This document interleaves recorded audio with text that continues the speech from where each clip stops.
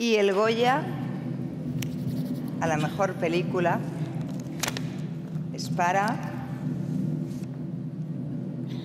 Asbestas. Asbestas, la gran favorita de la 37 edición de los premios Goya, con 17 nominaciones, se ha llevado finalmente nueve de los galardones, entre ellos los más importantes como los de Mejor Película, Mejor Dirección o Mejor Actor Protagonista.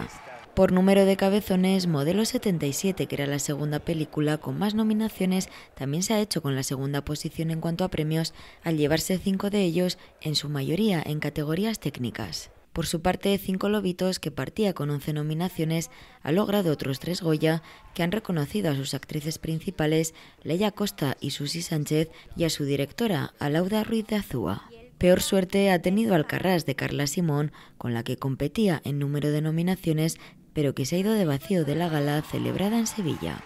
Las notas más emotivas de la ceremonia han sido los varios homenajes realizados al cineasta recientemente fallecido Carlos Saura en una gala que ha arrancado con la concesión del Goya de Honor.